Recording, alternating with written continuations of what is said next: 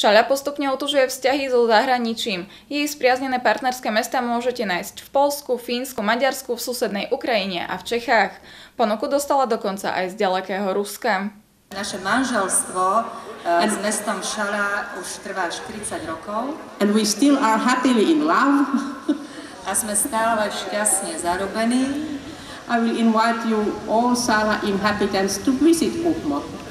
E, pozývam všetkých obyvateľov Šara, aby ste navštívili naše mesto Kuhmo. Takto opísala 40-ročný partnerský zväzok primátorka fínskeho mesta Kuhmo, ktoré spolupracuje so Šalou.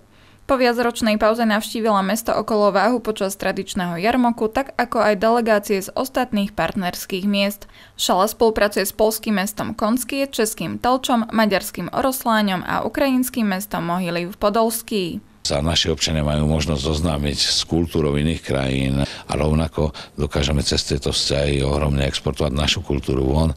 Okrem toho je to obrovská príležitosť pre deti, ale máme za sebou množstva táborov, lyžovačiek, proste priestor na to, aby sa deti zoznámili, aby komunikovali. Kontakty a vzťahy ľudí, miest, štátov sú veľmi dôležité. Medzi sebou potrebujeme hovoriť, aj keď nemáme na všetko rovnaké názory. Mesto uvažuje aj nad ďalším partnerstvom. Malo by ísť o nemecký hovoriacu krajinu krajinu. Navrhli sme Rakúska z toho dôvodu, že to susedná krajina, od nás to nie je ďaleko. Deti sa učia Nemčinu a je to jediná krajina Slovenska, ktorá hraničí s Rakúskom a Šala nemá družbu. Šalianskí divadelníci zase prispeli k tomu, že ich rodné mesto nadvezuje spoluprácu aj so Slovákmi žijúcimi vo Vojvodine. Práve ich amatérskí herci sa prednedávnom predstavili aj na súťaži Zlatá priatka.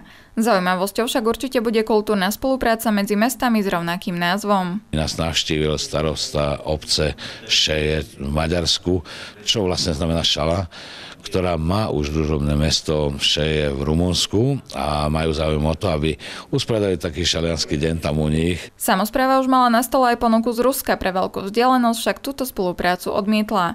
Hovorí sa však o ďalšom ruskom meste, ktoré je partnerským mestom Kuhma a je od neho vzdialené 100 kilometrov. Rozumne hľadať mesto, ktoré, ktoré by sa spojilo so Šalou, je len prospech nás všetkých. Martina Bešírová, televízia Kreja.